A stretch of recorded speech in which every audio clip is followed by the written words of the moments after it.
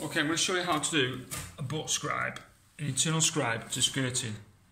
Now, I've cut these two pieces, these are square, and this one is against the wall. Now, normally this piece would run, what you're best off doing is run the front piece from the corner to this corner in one full length, and then this piece, you can scribe that into this one. Now, on a, on a lot of old buildings, you'll find the walls are all over the place.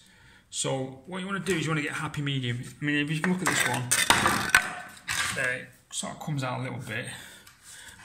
But obviously, if you want to keep them flat and square, then that one's slightly tipping backwards. So you've got two options.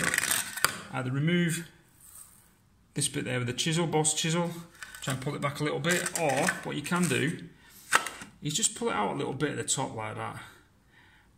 As you can see, and keep it square. And all you then do is just put a bit of, a couple of wedges in or something, and then when you're corking it up painting, you won't even notice it. But this way, it keeps the skirting square. Um, a lot, I mean, you don't really, I mean, that's exaggerating, but literally, I mean, you don't want it really like that, do you? I mean, you can, you can get a happy medium, just pull it out a little bit. Okay, so now what we do is we offer this one up to it. That's pretty square. And then what we'll do is, we're going to cut this at 45 degrees and when you do that, that gives you the exact shape of the skirting, which you're going to basically cut that shape out and that will fit nice and snug up to this piece of skirting there. So I'll do that for you now. Okay, so you may have seen it in the previous video where I showed you how to do 45 degrees with the reflection of the saw. You check out that video if you want a bit more detail on it. But basically what I'm going to do now is, just to recap, is I'm going to do a 45 degree angle there using reflection in the saw, which if I look for 90 degrees, you probably won't be able to see it from the video angle, but if you check out the other video, you'll see it. So I'm just going to do this on the floor.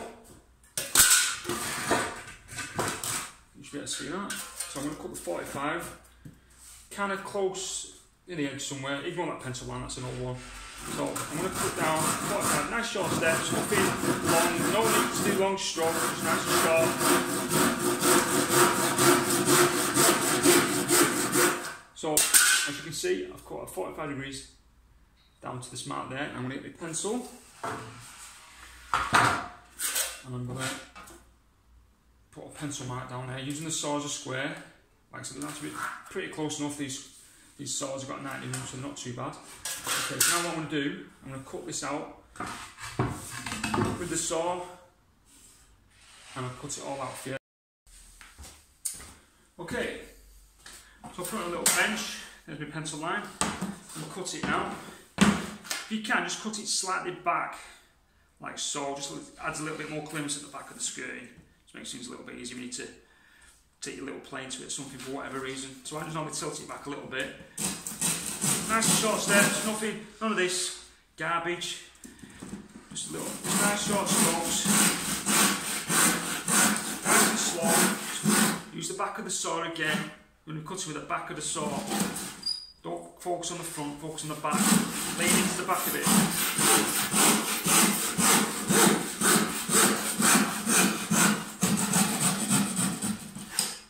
snap it off. Okay, so that'll be your first cut. And now I'm just going to cut the rest of it out with the coping saw. Okay, you see the shape of it now, it's coming together.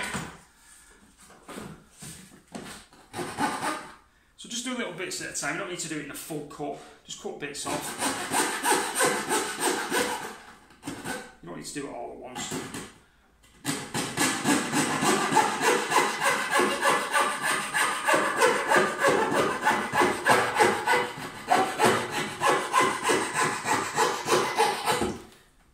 We've got this last bit at the top there, as you can see. Now, some you might struggle sometimes to get it really a nice little cut. So don't worry about it, just cut it off square. By the time you've corked it in paint, you won't even do it. So unless you're like, you know, you're anal about it, you can cut that, but chances are you probably won't be able to get it off in one piece without breaking that off. So just cut that right off if you want, it's not a big deal. For this purpose, I'll try and cut it off without taking the top off, but we'll see.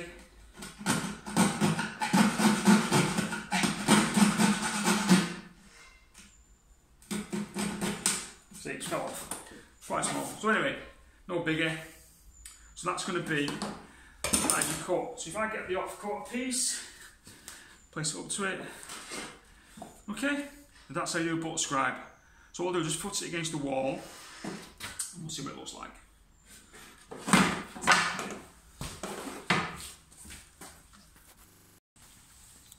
Okay, so two pieces up against the wall, as you can see. Now, as I explained to you before, this wall is slightly leaning back, it's kicking out the bottom. As you can see, there's a little bit of a gap there. I mean, it's by all intents and purposes, by the time you've cocked it in paint, you probably won't even see it. So what, but what I want to do, I could probably I've just pulled it out a little bit at the top, as you can see. Made a, a lot of difference there. I mean, that's just so pull it out a bit, put a few, bit of wedge at the back, bit of bloody cork, and there you go. That's about it, really. Bit of practice, slap it down to a fine art.